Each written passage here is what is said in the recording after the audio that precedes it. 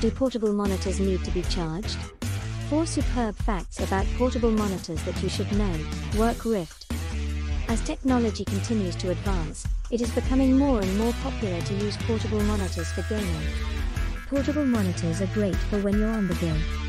The only problem is they need to be charged. Anyone who enjoys working on their laptop or tablet while on the road but does not want to compromise on screen size. The advantages of using a portable monitor.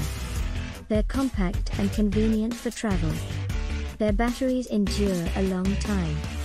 They provide flexibility for your work environment, ensuring that you are never confined to your desk or forced to depend on other people's displays to complete tasks. The benefits of using a portable monitor. Due to its compact size, it's also ideal for when you're on the road and want to increase your productivity. That means you can do all of your tasks without compromising on the screen size of your device of choice. Portable monitors are small and portable.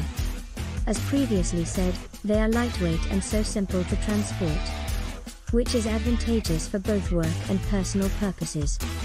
They have an extended battery life of up to hours, as long as you are not constantly connected to a power source. Your portable display will last as long as you need. Portable monitors enable you to work from any location. Disadvantages of a portable monitor. The possibility of glare, which can be uncomfortable for your eyes, is one of the primary drawbacks of portable displays. Typically, mobile workers use portable monitors. They are frequently used by people to watch TV or movies while they are at home, in a restaurant, or on a bus. Since portable monitors feature an inbuilt battery, they typically don't need to be charged.